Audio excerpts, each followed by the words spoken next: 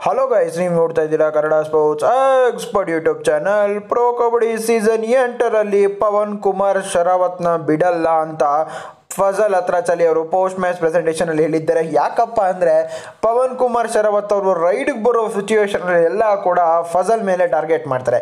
ಫಜಲ್ ಕೂಡ ಪವನ್ ಮೇಲೆ ಟಾರ್ಗೆಟ್ ಮಾಡ್ತಾರೆ. ಫಜಲ್ ಗೊತ್ತಲ್ಲ ಎಂಥ ಟಾಪ್ ಕ್ವಾಲಿಟಿ ಡಿಫೆಂಡರ್ ಪವನ್ ಗೊತ್ತಲ್ಲ. Number one raider pro kabaddi season ಎಂಟರಲ್ಲಿ. ಆದರೆ ಫಜಲ್ ಹತ್ರ ಚಲಿ ಅವರು ಇವತ್ತು ಪವನ್ ಬಗ್ಗೆ ಮಾತಾಡಿದರೆ ವೀಕ್ಷಕರೇ. ಪ್ರೆಸ್ ಕಾನ್ಫರೆನ್ಸಲ್ಲಿ ಪವನ್ ಬಗ್ಗೆ ಮಾತಾಡಿದರೆ ಪವನ್ ಉತ್ತಮವಾದಂತಹ ರೈಡರ್ ಎರಡು ಮಾತು ಇಲ್ಲವೇ ಇಲ್ಲ, ಆದರೆ ಅವರು ನನ್ನ ಟಾರ್ಗೆಟ್ ಮಾಡಿದ್ರೆ ನಾನು ಕೂಡ ಅವರನ್ನು ಟಾರ್ಗೆಟ್ ಮಾಡ್ತೀನಿ. ಬಿಡಕ್ಕೆ ಹೋಗಲ್ಲ. ಯಾವುದೇ ರೀತಿ ನನ್ನ ವಿರುದ್ಧ ಅವರು ಯಾವುದೇ ರೀತಿ ಪಾಯಿಂಟ್ಸನ್ನು ಕೂಡ ಕದಿಯೋಕ್ಕೆ ಆಗೋದಿಲ್ಲ. ಜಾಸ್ತಿ ಏನೋ ಆಯಿತು ಅಂದರೆ ನಾನು ಎಲ್ಲರನ್ನೂ ಕೂಡ ಟ್ಯಾಕಲ್ ಮಾಡ್ತೀನಿ ಅಂತ ಕೂಡ ಹೇಳಿದ್ದಾರೆ. ಫಜಲ್ ಹತ್ರ ಚಲಿ ಅವರು ಪವನ್ ಶರಾವತ್ನ ಟ್ಯಾಕಲ್ ಮಾಡಿದ್ರು. ಆದರೆ ಸಕ್ಸಸ್ಫುಲ್ಲು ಆಯಿತು.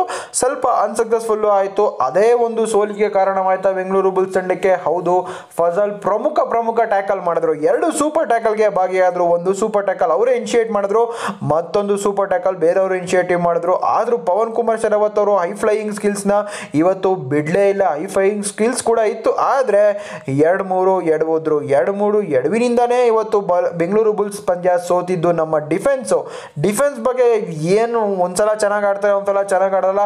ನಾವು ಸೋತಿದ್ದೆಲ್ಲ ಡಿಫೆನ್ಸಿಂದನೇ ಅಂತ ಅನ್ಬೇಕು. ಪವನ್ ಕುಮಾರ್ ಶರವತ್ ಯಾವುದೇ ರೀತಿ ತಪ್ಪನ್ನು ಮಾಡಿಲ್ಲ ವೀಕ್ಷಕರೇ. ನೀವಿನ್ನೂ ನಮ್ಮ ಚಾನಲ್ನ ಸಬ್ಸ್ಕ್ರೈಬ್ ಮಾಡ್ಕೊಂಡಿಲ್ಲ ಅಂದರೆ ಸಬ್ಸ್ಕ್ರೈಬ್ ಮಾಡಿಕೊಂಡು ಇದೇ ಥರ ಸಪೋರ್ಟ್ ಮಾಡಿ.